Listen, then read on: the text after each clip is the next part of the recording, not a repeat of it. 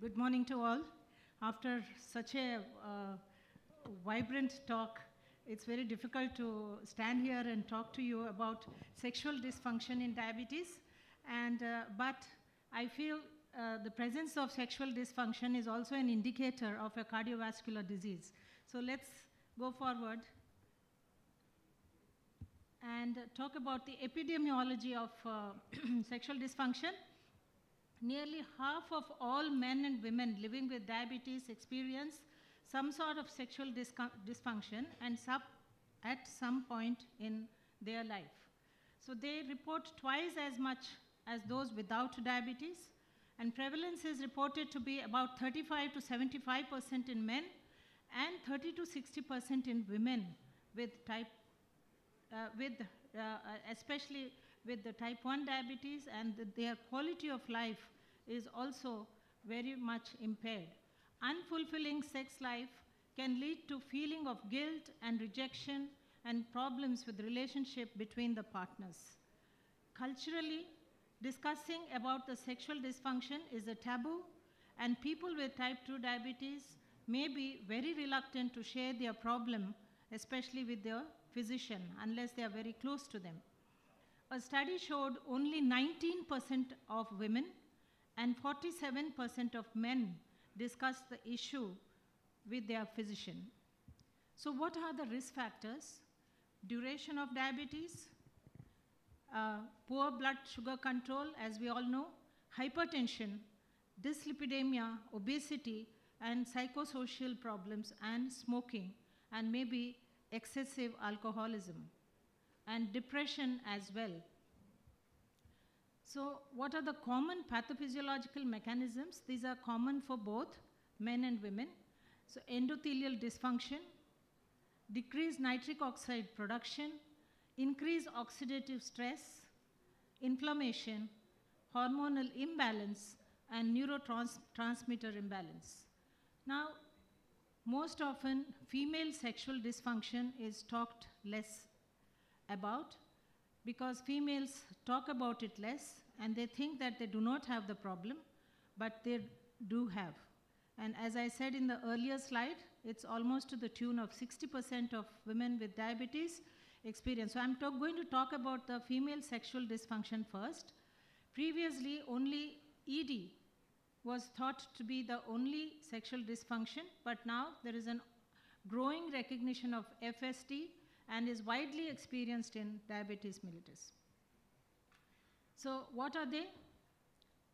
Hypoactive sexual desire disorder, female arousal disorder, decreased lubrication, dyspareunia, that is pain during the sexual intercourse, female orgasm disorder, and also vulvodynia, which is a common problem in women with diabetes, perhaps due to decreased secretions, painful diabetic sensory neuropathy, and repeated UTIs, which are more common to the female.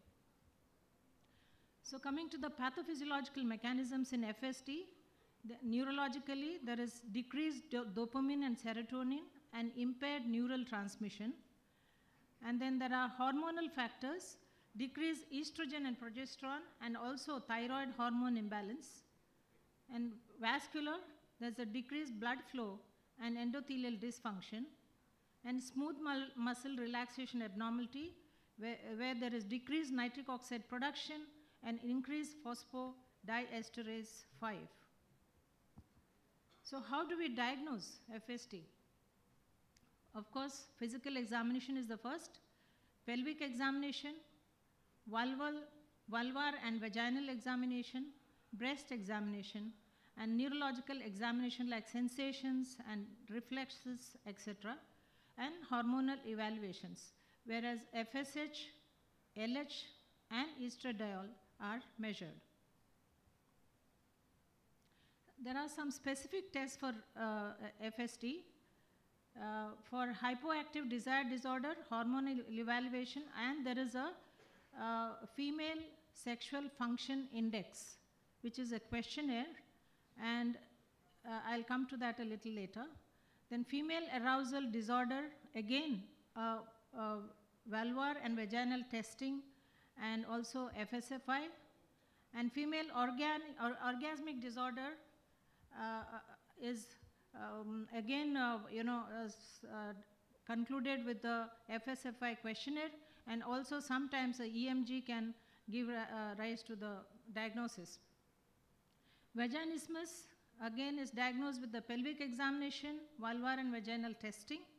And then there are some additional tests like sleep study because disturbed sleep also is one of the uh, uh, outcome of the depression and can lead to FSD. cardiovascular evaluation and neurological uh, consultation to rule out multiple sclerosis, Parkinson's disease, etc.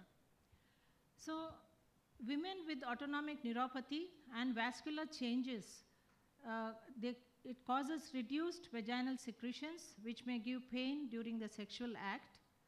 The dryness further increases the chances of STDs in women. And women with poor glycemic control are vulnerable to many STDs like vaginal candidiasis, thrush, and HIV also. Painful sensory neuropathy in women can give rise to vulvodynia. So these are some of the biomarkers which are common to both testosterone, total and free, estradiol, prolactin, TSH, C-reactive proteins, and endothelial function tests, which is flow-mediated dilatation. So uh, that much was for FSD. And coming to the types of sexual dysfunction in men.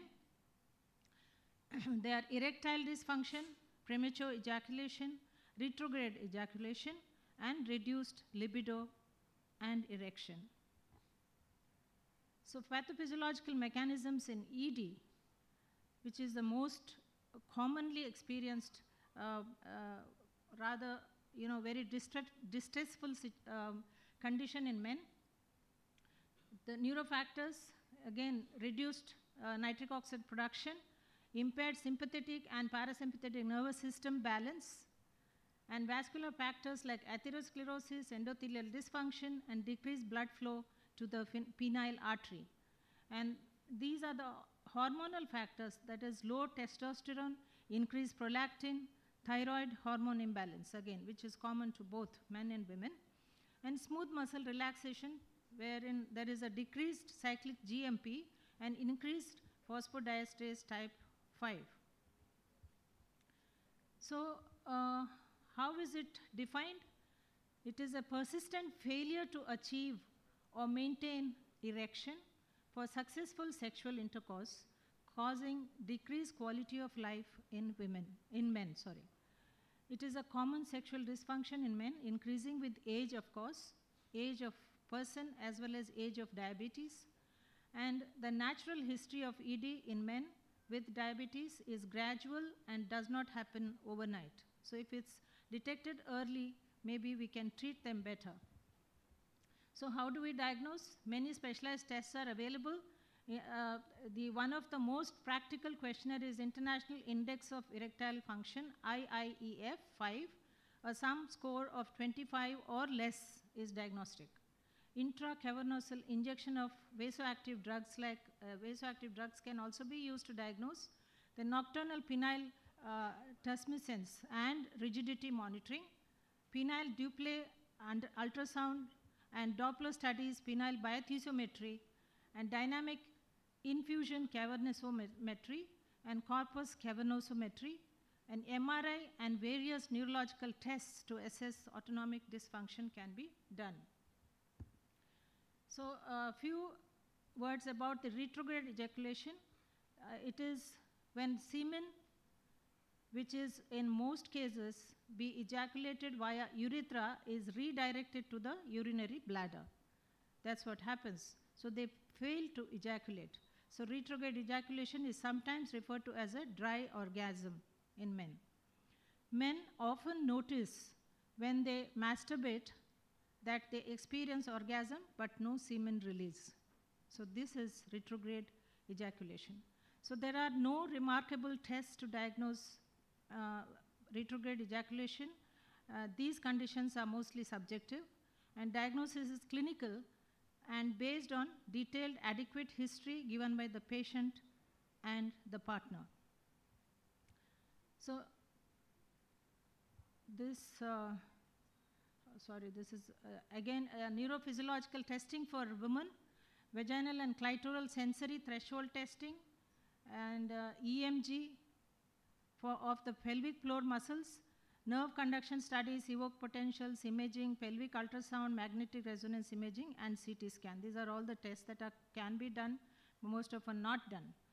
So how do we manage counseling for uh, women? It's a very difficult task, but it should be done. And uh, it has been found in many studies that uh, uh, studies studies improves our lubrication and satisfaction causes significant improvement.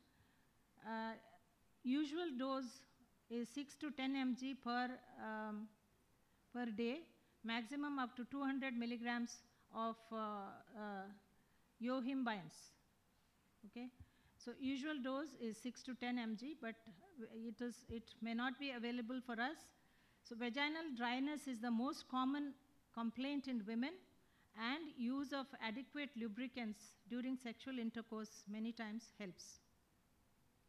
So common tests for uh, men and women is a, uh, SD is a silent indicator of coexisting silent CVD as I said in the beginning. Lipid profile, CV evaluation should be done in all and total and free testosterone levels, LH, FSH and uh, may help in excluding hypogonadism. So uh, management, of course, metabolic control, optimal glycemic levels will improve uh, sexual dysfunction. However, some degree of dysfunction may still persist due to irreversible neurovascular damage. Therefore, specific therapies are imperative. Counseling plays a very big role in uh, treating SD and it helps to understand that SD is organic in origin and is no different from any other complication of diabetes mellitus. So educate the partner too about reality of the problem. So there are some drugs which are available. One is phosphodiesterase 5 inhibitor because remember that is increased in these people. So it uh, this one of the drugs. Then these drugs act only in the presence of an arousal. So if a person does not have arousal, it should not be used. So not effective uh, uh, this smooth muscles are, if the smooth muscles are damaged or penile arterial blood uh, supply is compromised. So it has to be excluded before we think of phosphodiesterase inhibitors. Uh, only 50% of patients respond to this therapy. Should be taken one to two hours before the act and onset of action is within one hour, lasts for about six to 10 hours. And then most men will need a dosage of 100 mg but can start with 50 mg.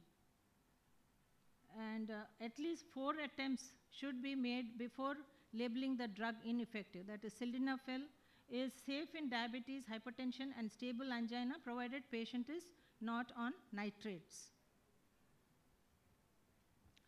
So, main side effects of uh, these drugs are headache, flushing, acidity, and rarely visual disturbances. And tadalafil has a much longer half-life. And intracavernosal injection of vas vasoactive drugs also can be used. And topical creams are available. And, uh, and you know, these are all the uh, various uh, uh, methods in which methods which improve the sexual dysfunction. In men, vacuum erection device can also be used. And then penile prosthesis is the other uh, method, there are two, uh, three varieties of penile prosthesis. Uh, this is one of the examples, and it is an inflatable penile prosthesis, and components are cylinders inside the penis, and a pump in the scrotum and reservoir in the abdominal wall. So there are three pieces of it, and how it works is uh, fluid transfer from reservoir to cylinders, pump activation inflates the cylinders, deflation of, by releasing the fluid back to the reservoir. So that's how it works. And it is, uh, there are some malleable penile prostheses again, and risk and complications of prostheses are there. So infection is one of the commonest uh, uh, complication, and uh, pain sometimes it can also cause scarring inside. So which can be, of course, uh, he, uh, manipulated. so ma- uh, minimally invasive surgery, robotic assisted surgery, and new uh, materialized designs, penile implant rep- refinement also are available. So there are improved processes as of now. So, uh, so there are some emerging trends for the treatment of SD that are they are stem cell therapy, gene therapy, mindful based interventions, and telemedicine for SD treatment and extracorporeal shortwave diathermy, uh, shortwave uh, therapy. So uh, I don't have much time. The stem cell therapy is again intracavernous injection, intraurethral injection, and systemic uh, administration of the stem cells. And then gene therapy is also, uh, uh, you know, there are different gene therapies, viral vector mediated gene transfer, non-viral gene transfer, and gene editing. And target genes are nitric oxide synthase, vascular endothelial growth factor, platelet-derived growth factor, androgen, etc. So approach and benefits of the gene therapy, it's a long-term efficacy, minimally invasive, and reduced side effects and improved quality of life. Telemedicine, again, it is very common in the Western countries uh, uh, by- via video consultations, phone consultations, and etc. And conditions treated are all these ED, PE, PST, and etc. FSD, sorry.